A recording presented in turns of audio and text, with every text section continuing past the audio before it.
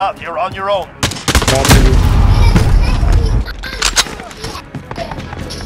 Oh, dang it, I didn't see him hiding.